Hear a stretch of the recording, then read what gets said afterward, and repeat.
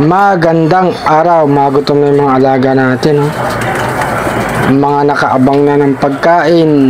Ito na, pasok natin yung pagkain nila. May pumatong na. Ayan, oh, mga kalapatids. Oh. Magutom na, nag-aagawan na sila. Antay tayo ng training ng South para ma-load natin sila. Naglagay pa tayo ng isang pagkain mga kalapatids.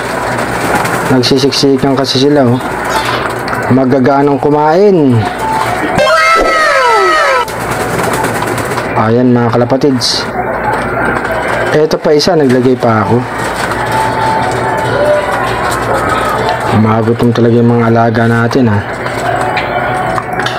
Maglagay tayo ng tubig, mga uwaw na sila.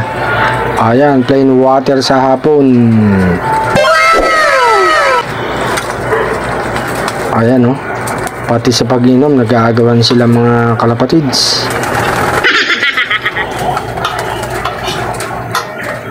Sige. Ayan mga kalapatids, nagpakain na tayo at nagpainom sa mga flyers natin.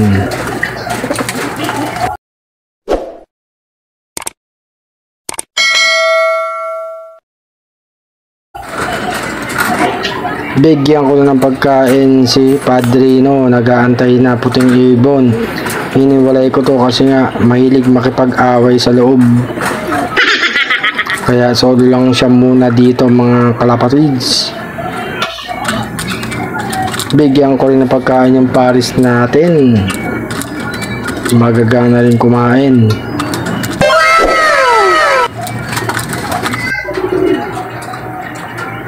Ayan mga kalapatid, so ito yung kalaban ni Padrino. Matapang kasi kasi nga may Paris. Ayan mga kalapatid, so. Pang south natin yung dalawa na yan. Ayan oh. Mga barako pa, magandang araw.